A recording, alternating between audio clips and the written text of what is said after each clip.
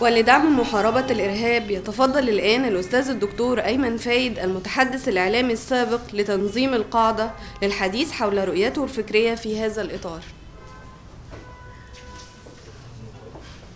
السلام عليكم.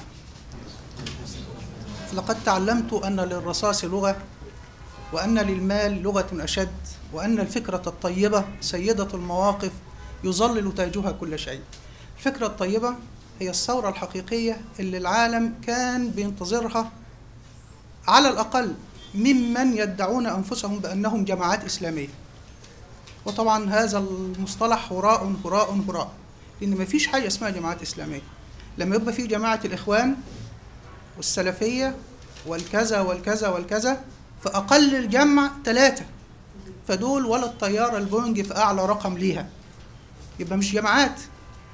تبقى فرقة والدين هو وحدة المسلمين.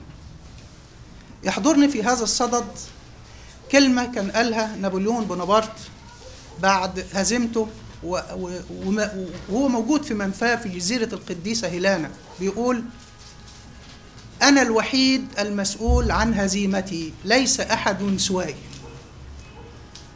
إسرائيل بعد هزيمة 1973 الحرب المجيدة اللي المسلمين مجتمعين والعرب مجتمعين قعدوا 600 سنة بدون انتصارات.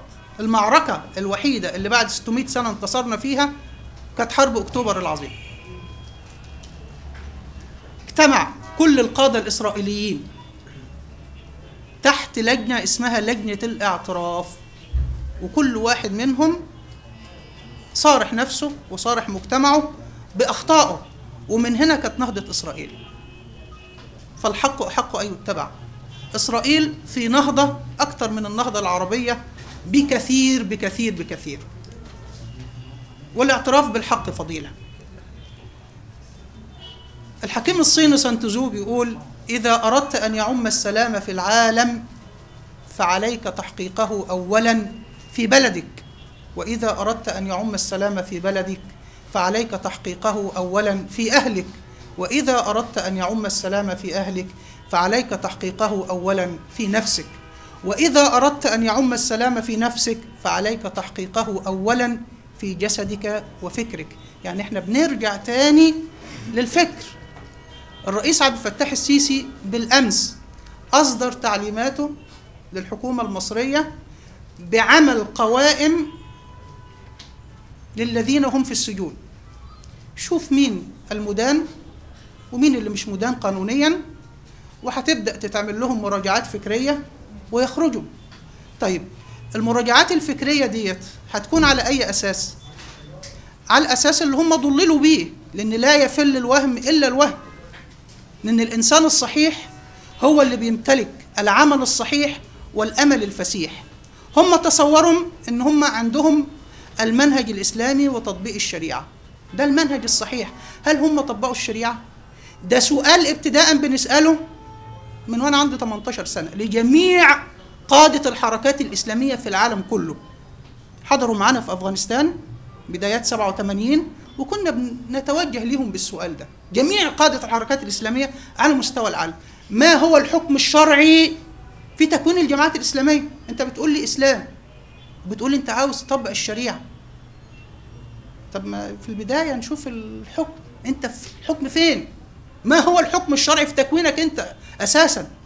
شرعا لا يجوز تكوين جماعة إسلامية. هذا أول شيء. تاني نقطة الأمل الفسيح اللي هم توهموه وعلى رسلها بدأت أمريكا تطلع جبهة النصرة وداعش وكذا وكذا وكذا وبدأوا يدوا للشباب أمل فسيح اللي هي دولة الخلافة وهم أساسا لا يفقهوا معنى كلمة دولة الخلافة لأن الإسلام ما عرفش حاجة اسمها دولة. كلمة دولة ده شيء في العلوم السياسية مصطلح حديث بدأ في منتصف القرن السادس عشر. مفيش في حاجة اسمها دولة. الإسلام يعرف إمارة يعرف سلطنة يعرف مملكة إنما الدولة الإسلامية في العراق والشام ابتداء هم مش عارفين يجيبوا المصطلح مش عارفين يسكوا المصطلح. تيجي بعد كده تقول لي خلافة. وأفوجئ إن أنت جاي توقع الخلاف والفرقة والتشتت والريبة والشك ما بين الأمة كلها. فإحنا واقعين في كارثة فلازم نتحدث مع هؤلاء الناس قبل ما يخرجوا. لأن أنا بقول للمشير عبد الفتاح السيسي مش كفاية اللي هو مش مدان قانونيا وملاحق تحت أي جريمة إن أنا أقول له اتفضل اطلع. طب والفكر اللي عنده؟ هنعمل فيه إيه؟ ولا سيما إن المسألة سهلة جدا. هنتكلم في الشريعة وهنتكلم في مفهوم دولة الخلافة الإسلامية اللي هم بيتكلموا بيها. وده مسألة في غاية ال- الخطورة. لو سيبنا الموضوع والناس دي طلعت عن تجارب سابقة معاهم لو طلعوا بهذا الأمر الجماعة الإسلامية عملت مراجعات قبل كده. الجهاد عمل وثيقه ترشيد العمل الجهادي قبل كده. ولما جت 25 يناير وجت الثورة انقلبوا على كل المراجعات الفكرية بتاعتهم. وبدأوا يتأولوا أكتر من الأول. فهنرجعهم ونرجع الدايرة من أول وجديد. لا يستقيم الأمر. إحنا عاوزين نخطو خطوة للأمام.